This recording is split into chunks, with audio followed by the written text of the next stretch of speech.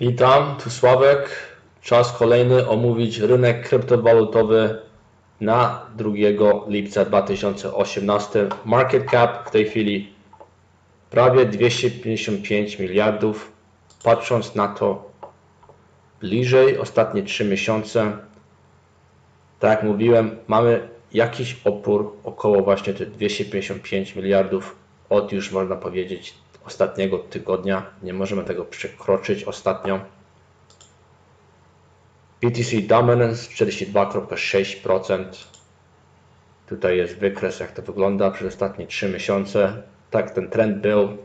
Przewaga szła w stronę Bitcoina. Doszliśmy gdzieś do 43 z kawałkiem.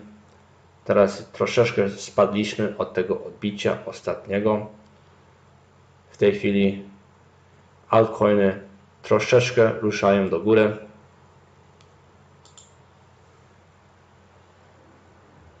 Okay. Bitcoin w tej chwili 6337 jest takie maleńkie spadek, maleńki spadek,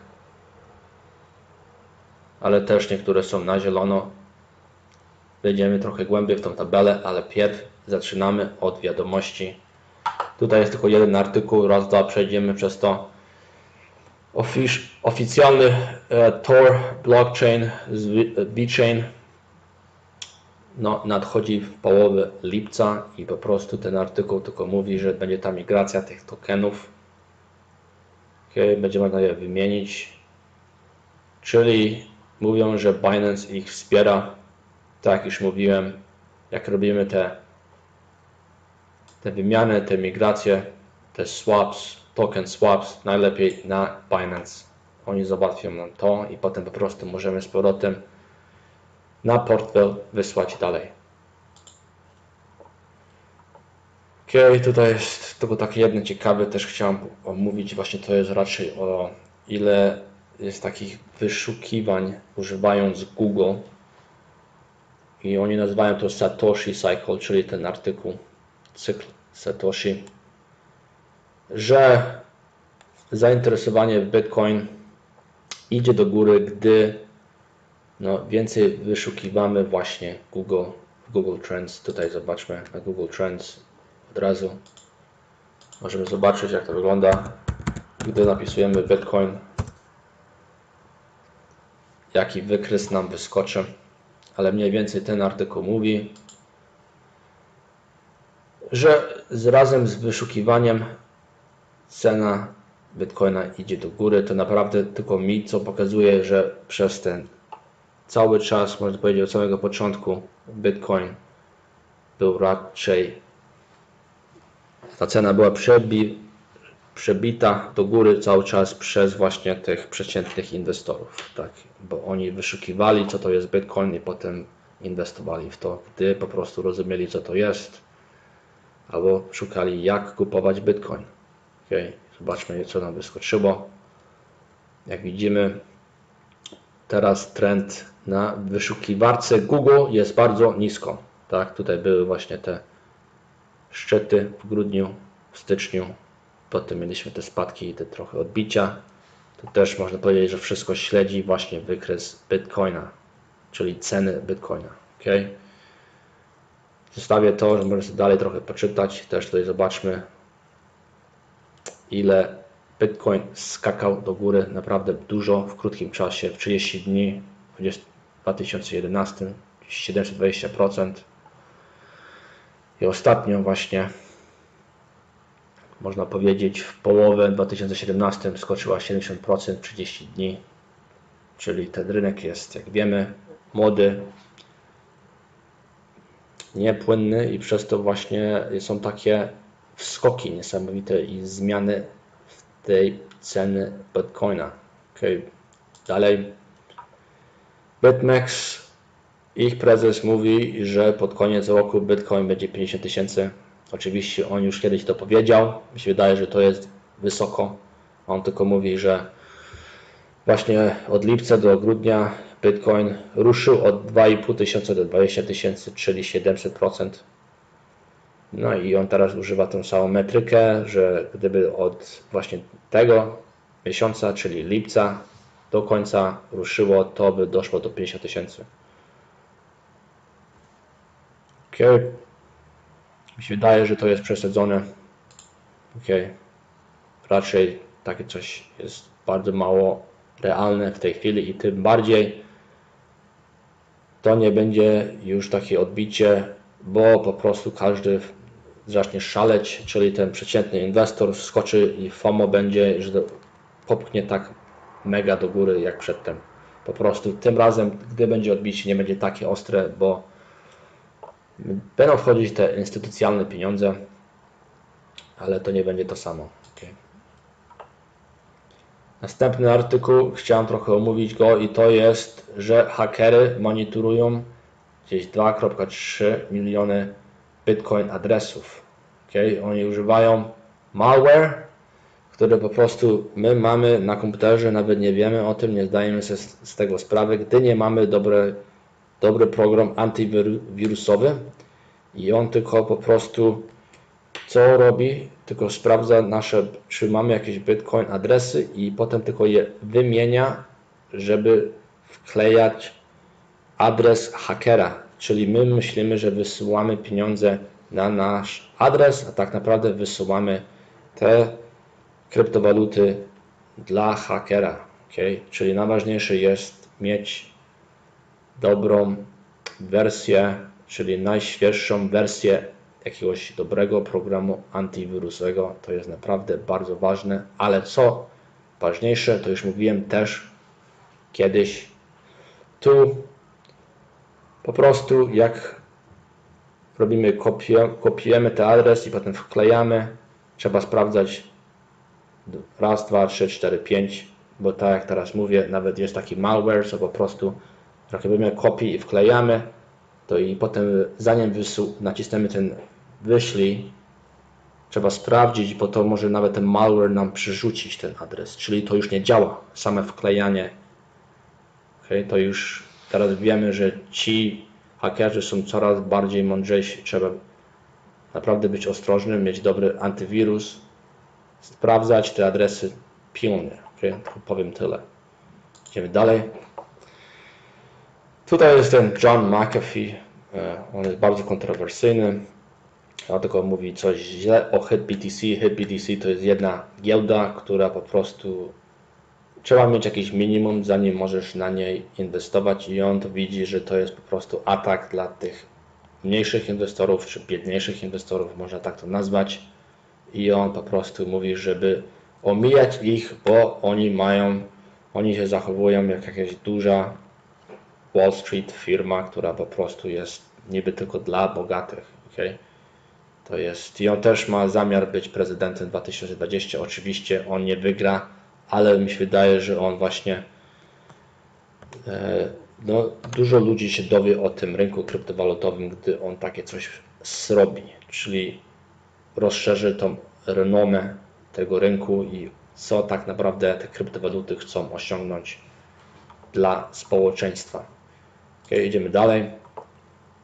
E, tutaj jest jedna wiadomość o IAS i to jest nie najlepsza wiadomość. Oczywiście to, że oni rozmyślają swoją konstytucję i to jest przez to, że po prostu nie mogli dostać wszystkich tych losów, żeby no, przetwarzać właśnie um, ich, ich blockchain, czyli tą migrację, żeby działało bez błędów i żeby szli dalej po prostu z działaniem, z tym, co oni tutaj chcą osiągnąć, czyli być tą najlepszą platformą dla tych zdecentralizowanych aplikacji. Okay? I oni teraz mają właśnie te zakłócenia z tym brak tymi losami od tych wszystkich, którzy trzymają właśnie te nody i oni teraz rozmyślają następną konstytucję. Okay? To, jest, to jest też takie wytłumaczenie, czemu ten IAS no oczywiście sypnął się jak reszta tych kryptowalut, ale też szedł trochę więcej w dół przez to właśnie, że były te kontrowersje były te zakłócenia z tym mainnet, kiedy wszedł. Okay? I też mogę powiedzieć, porównując na przykład do Tron, który też miało ostatnio właśnie ten mainnet, raczej oni mieli właśnie w te prowadzenie tego mainnet bez jakichś zakłóceń. To chciałem pokazać tą różnicę, porównując tą do tego. Okay? Czyli obydwa projekty dalej mi się podobają, tylko chciałem powiedzieć, że Tron udało się bez zakłóceń. To jest dobre dla Tron. Okay. Następna rzecz, którą chciałem powiedzieć, to jest artykuł, jest to, że już tysiąc kryptoprojektów już są uznawane za martwe, już nie istnieją. Dlatego moja strategia, czyli ostatnio i to tym bardziej, jest koncentrować się na sprawdzonych albo takich projektów, które są naprawdę dobrze przebadane, fundamentalne i mają próbują rozwiązać problem, który tak naprawdę może dodać jakąś prawdziwą wartość dla całego ekosystemu. Okay? Dlatego dużo projektów, które są bardzo małe i to na przykład dużo z nich to jest initial coin offerings, to już po prostu to są skamy, czyli sztuczne oszustwa i już nie istnieją. Nawet można powiedzieć, że jeden miliard pieniędzy, które wszedły w ICOs to po prostu poszły do zera. Duże ryzyko. Okay. Tylko chciałem powiedzieć tyle, żeby być ostrożnym i inwestować w projekty, które są przebadane fundamentalnie, co najmniej, albo są już ustalone i po prostu przewidujemy te trendy, że będą raczej dobre. Okay. Tutaj jest tylko wiadomość od Zeleka. Testnet, druga wersja już jest uruchomiona. Cena skoczyła 20%, ale raczej ja bym powiedział, że po prostu tylko było dobry czas. Cały rynek odbił ostatnio, jak wiemy, był te wielorybny bot, który pompował cenę Bitcoinu i wszystko ruszyło do góry kilka dni temu. Też mówię o tym więcej. Ok, na sam koniec tylko jeszcze jeden artykuł potem mówimy o tam tabelę Bitcoin i to jest, że 0x pompuje 20% przez plotki. Znowu raczej nie sądzę, że to jest przez to, tylko że po prostu było odbicie na rynku. I tak mówiłem właśnie ostatnim, pierwszy raz nawet znalazłem taki artykuł, który potwierdza to, co ja już mówiłem, że mi się podoba ta kryptowaluta od dawna przez to, że po prostu Coinbase będzie budować tą zdecentralizowaną giełdę na 0x. I teraz po raz pierwszy widzę artykuł, który potwierdza to, że będzie dodane do Coinbase, ale raczej mi się wydaje, że teraz jest to mniej prawdopodobne, ale to jest taki tak dobry projekt, bo będzie używany jako platforma, to jest potwierdzone. Pompuje akurat 14% w tej chwili. Czyli cały czas do góry. Plotki mają, robią swoje. Ok, idziemy dalej. Chciałem powiedzieć Wam o tutaj o tym gości, Bart, Bart Simpson. Dla tych, którzy nie wiedzą czemu, zaraz pokażę, to jest bardzo ważne. Ok, I oczywiście wchodzimy o Bitcoinu i o tej cenie trochę głębiej. Tutaj zobaczymy, jak to wygląda na jednym dniowym wykresie 6300 w tej chwili. Zobaczmy trochę głębiej na jednym godzinnym, co się dzieje. I właśnie chciałem pokazać te nienaturalne wieloryby, boty, tak, bot to kupił. To nie było jakieś tam e, organiczne czy coś takiego i potem widzimy po prostu, że obroty, wolumeny są niskie i potem nagle są wieżowce, pompują boty przez wielorybów nienaturalnie i oni raczej z reguły właśnie próbują tworzyć tych tych bartów, tak, tych, ten głowę, żeby potem znowu był spadek, żeby sobie zarabiali na tym, ok. Chciałem to pokazać, to można widzieć trochę głębiej. Tutaj jest ten Bart jeden, tutaj drugi, teraz jest do góry nogami, te Barty są, tutaj jest do góry nogami Bart, ok, jak się zarabiają, fajnie, te boty, chciałem pokazać to, też nieraz zobaczymy to na 15-minutowym, jak to wygląda.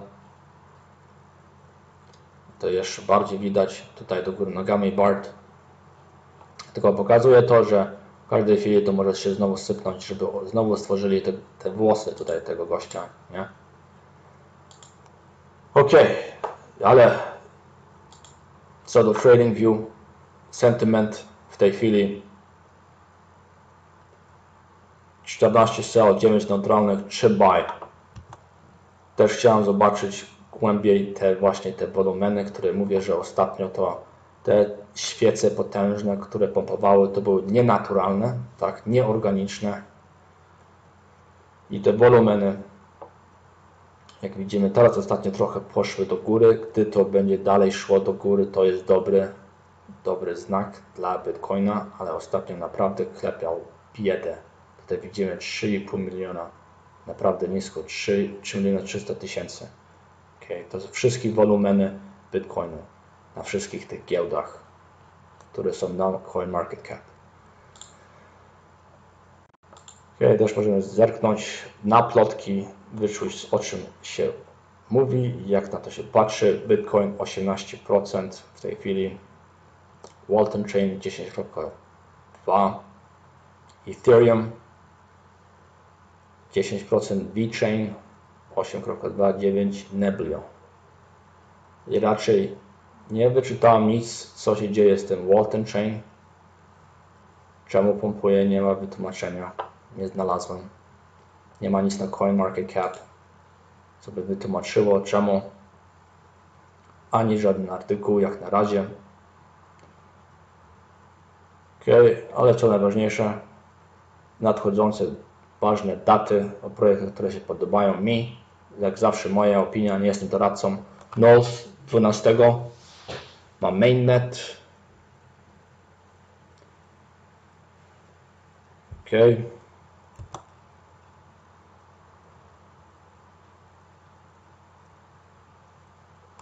I znowu coś będzie jakieś tam, to jest to raczej marketing przez Tron, jakiś pisze sekret.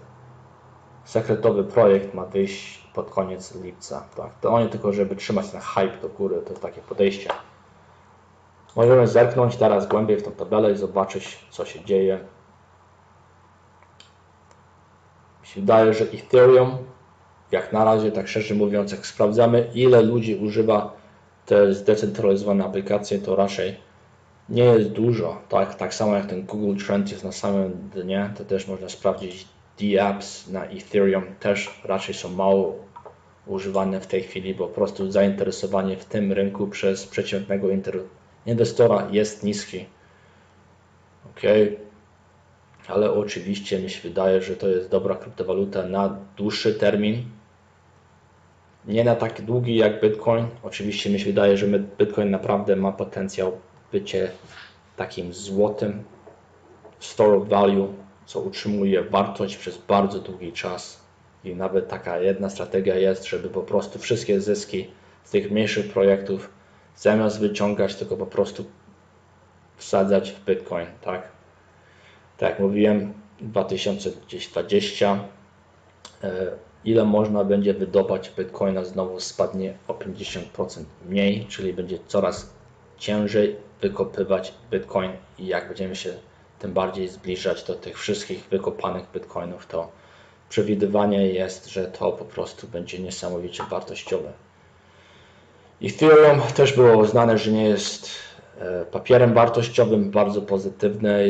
Jak gdybym ja był e, na przykład myślał jako fundusz hedgingowy, to oczywiście ja bym wchodził takie coś, co już jest sprawdzone przez SEC, czyli tych regulatorów. Okay? Bitcoin, Ethereum mi się wydaje są bardzo dobre.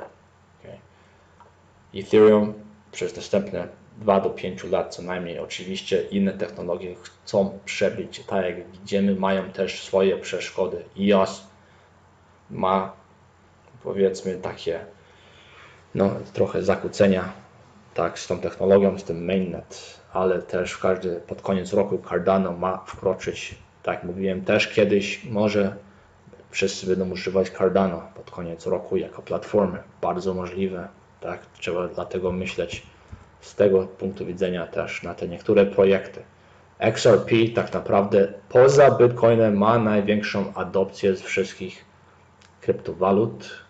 ma niesamowicie dużo partnerstw. Oczywiście oni są poza tym modelem, który, który e, roz, rozpętał ten rynek, czyli zdecentralizacji poza zasięgi takich centralnych autorytetów, ale oczywiście oni próbują ulepszyć właśnie te przesuwanie międzynarodowe, czyli między tymi instytucjami. Okay. I to, to im się sprawdza. Też to widać, że jest nawet bardzo lubiony przez media. Tak? To jest ich plus.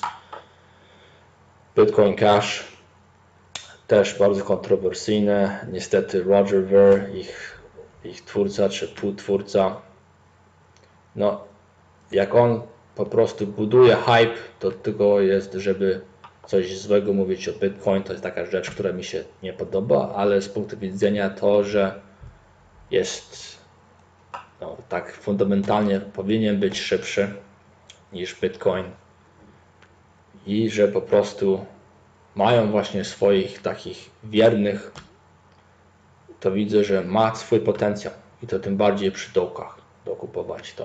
Ok, tak na to patrzę. I raz już mówiliśmy. Litecoin słaby ostatnio. Dużo ludzi się też pyta, jak to możliwe, to jest taka straszna przecena, ale rok temu to było gdzieś, e, no możemy nawet zerknąć, żebyś naprawdę sobie zdać z tego sprawę, co był Litecoin rok temu. Ok, rok temu było gdzieś połowy ceny, około 30 dolarów. Ale jak pójdziemy naprawdę tak nawet do marca, pod koniec samego marca to było 4 dolary, tak. To z tego punktu widzenia ci, co wtedy kupili, naprawdę są na plusie i to jeszcze dalej niesamowicie. Ok.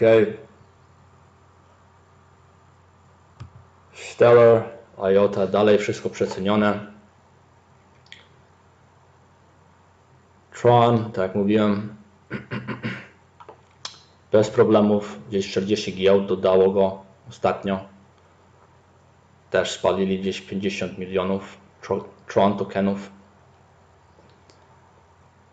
Monero, jedna z tych lepszych. Privacy Coins razem z Zcash mi się podoba. Neo, też dobry projekt, ale oczywiście teraz ostatnio po prostu jakoś się trochę męczy. Oczywiście cały rynek jest nie najlepszy. Dash też wychodzi z jakiejś polepszoną technologią i oni też nawet można używać to jako kryptowalutę, jako pieniądz i też, żeby budować na nich aplikacje, czyli oni mają wartość nie tylko jako czysto pieniądz, ale też jako platforma. To jest ciekawy projekt. Ethereum Classic będzie dodany do Coinbase i przez to raczej pompuje, ale ostatnio też jest taki stary projekt. Niektórzy myślą, że po prostu też to pójdzie raczej w dół potem, bo większość ich drużyny przechodzi na nowy projekt Callisto. O wiele więcej niżej w tej tabeli nie ma co w niej wchodzić w tej chwili, bo to klepie biedę, dlatego wchodzimy bardziej takie ustalone Binance Coin, bardzo dobra kryptowaluta, ma użytek dobry. W tej chwili jest trochę małym spadku, ale mniej więcej to, że jest dalej 14 dolarów, jak te wszystkie inne się sypły o wiele, wiele więcej, jest naprawdę pozytywne. NEM ostatnio jakoś się odżywa, japoński projekt, token. Oczywiście od kiedy był zhakowany wcześniej w tym roku się męczył, dzisiaj jest odbicie. VeChain. Jedna z moich ulubionych kryptowalut. Wydaje, że dalej jest też nisko. 2,55 przecenione. O Mizgo. Też ciekawy projekt. Chcą przynieść bankowość czy możliwość mieć, mieć bank konta dla tych, którzy po prostu są w krajach, które nie mają Czyli to mi się wydaje, gdyby za takie coś nawet załapało się w takiej jednej, e, jednym kraju, to by było pozytywne dla tej kryptowaluty. Oczywiście chodzi o adopcję, najważniejsze. Qtem. Ciekawy projekt Anthology. Też bardzo lubię Anthology. Nawet bym powiedział, że lepiej niż Neo w tej chwili. Oczywiście zawsze mówię o nich razem, bo oni są stworzeni przez OnChain, czyli mają tą samą parent company, czy no, twórczą firmę. Zcash, kryptowaluta an- anonimowa. Tak jak mówiłem, razem z Monero te dwie są najlepsze. Oczywiście jest to zagrożenie z regulacji, tak jak mówiłem. Japonia zabroniła ich, inne kraje mogą też to zrobić. Icon. Icon to południowo-koreański projekt.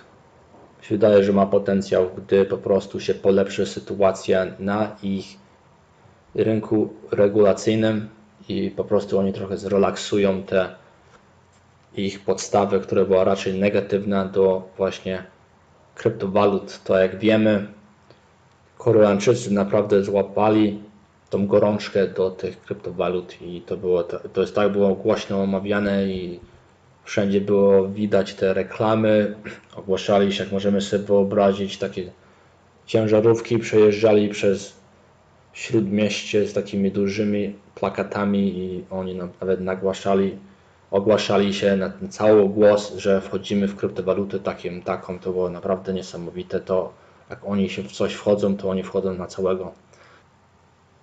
Zerka, Zerka już mówiłem, no Zero X też. Verge nie podoba mi się, już mówiłem dużo razy czemu.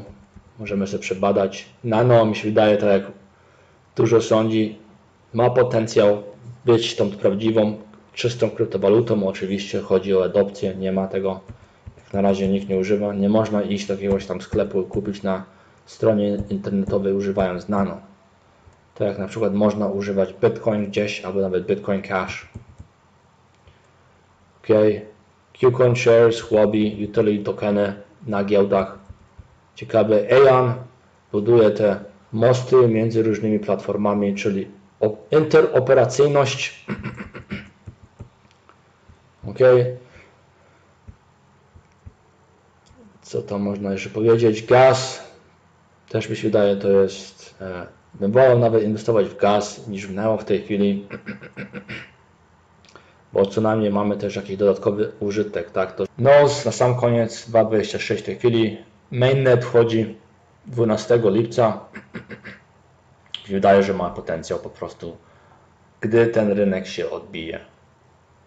Oczywiście trend jest spadkowy, trzeba być ostrożnym, ale jak inwestujemy na długi termin, to po prostu będzie coś, o czymś już nie będziemy mówić w przyszłości, bo po prostu to będzie taka mała przeszkoda w naszej drodze. Gdyby Wam się podobał ten filmik, łapkę do góry. Życzę wszystkim super dnia. Na razie.